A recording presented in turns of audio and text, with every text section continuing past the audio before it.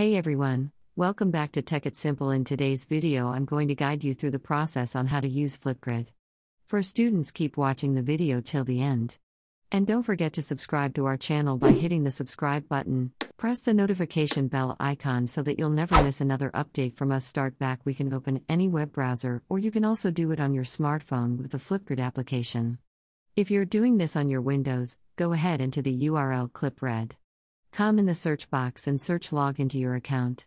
Once you end up in this page as a student, you'll need to enter your join code in the text box. Your educator might have given you a join code on a school provided email.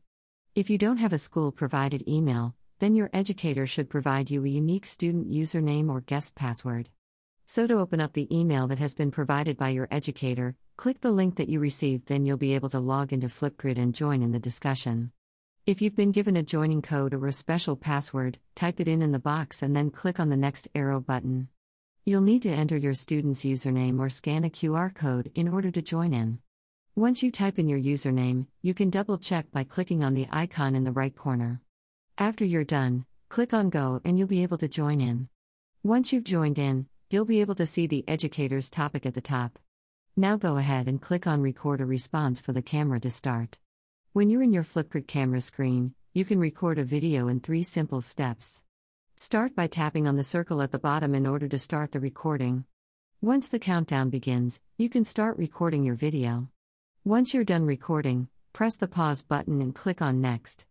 If you want to add any effects, click on the Effects button and then add filters by picking one from the menu text and much more. Tap the Next button in the bottom right to finish off. This is the video preview where you can review your video trim and confirm at the bottom right tap on the next button.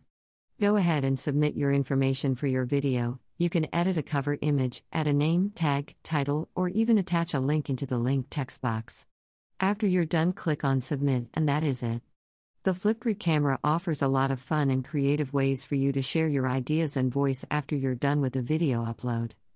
You can share your link for others to watch. Once the video is done, click on Done. And then you have uploaded a video as a student on a certain topic.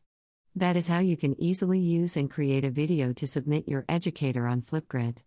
I hope you found the video to be helpful. If you did, go ahead and give us a thumbs up comment down below in the comment box. If you have a question or feedback for us, I'll soon be back with more tutorial episodes. Goodbye till then.